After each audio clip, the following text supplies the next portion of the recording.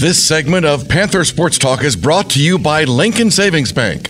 At home in Iowa, at work for you.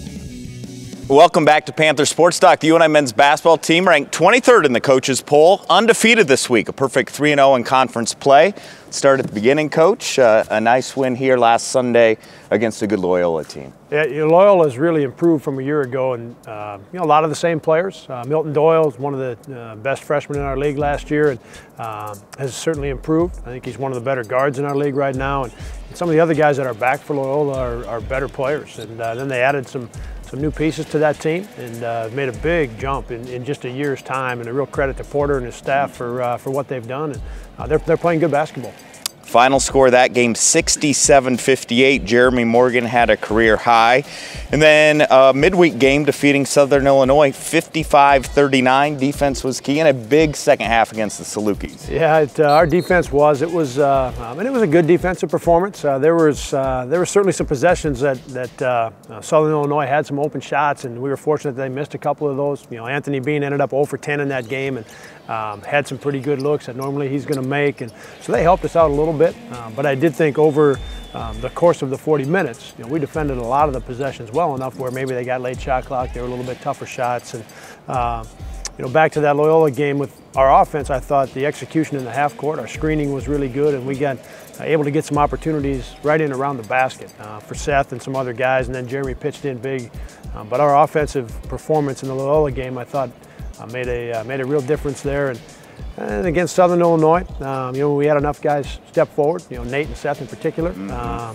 those two guys really got it going and got it done for us in that game at the offensive end of the floor. Nate had a season high in that game, and then uh, going on the road at Drake, 64-40 win there. Huge second half, a 32-2 run, Coach. Yeah, that was. Uh, um, you know, I, I thought we played well in the first half. You know, not great, but we played well in the first half, and I give a lot of credit to Drake for coming out um, and jumping out to that 14 to 5 lead. You know, they're on their home floor. Uh, they'd just been on the road and gotten beat in a, in a uh, you know in a tough game at Illinois State, but they came out and did all the right things and got themselves out to a lead.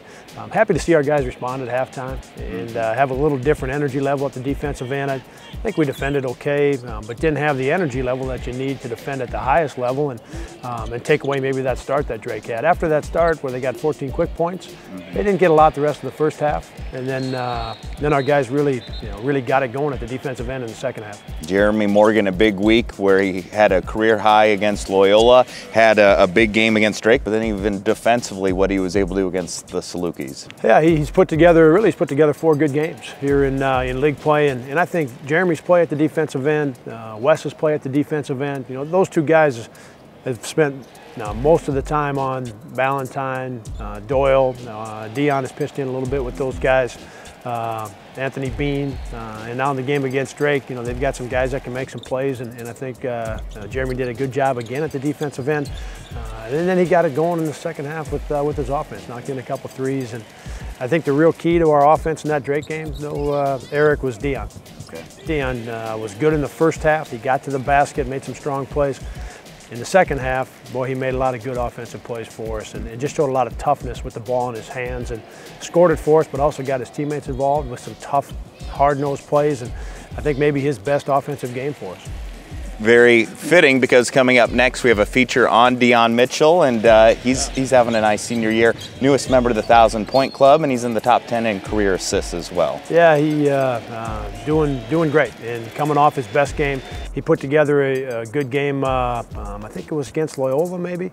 Um, I forget which one of the conference games here. Uh, so uh, he's played he's played good here early in conference you know, had uh, uh, the show that you guys have put together, the All Access mm -hmm. show. Um, this past Friday, we had a chance uh, as a team to watch that, uh, and that was a uh, terrific show and uh, extremely well done. And, and, I know you know how much we appreciate you guys, how much time you put into that to make that show work and, and look so good for our fans. And but the other thing I can tell you is it it's a it's a real positive for our guys in our program, Eric. They um, they're really locked into that, and uh, there's some things that happen that um, you, you, don't always catch when you're in the middle of it. Mm-hmm. When you get a chance to go back and see it, you know, you catch a few more of those things, and that's been good for me. It's been good for our players. So, um, again, really appreciate you doing that, and um, I think Deon enjoyed seeing that. Good. You know, all the different things, and maybe that helped him play a little bit better uh, um, yesterday, and it'll help him going forward. So, uh, but he's on a good track right now. Thanks for the kind words, and you can see UNI All Access and a story on social media and how UNI Athletics is using it coming up on the show. Check out UNI All Access on the UNI Panthers website. Panthers are at Bradley this week and then home Sunday against Missouri State. We'll be back with more Panther Sports Talk right after this.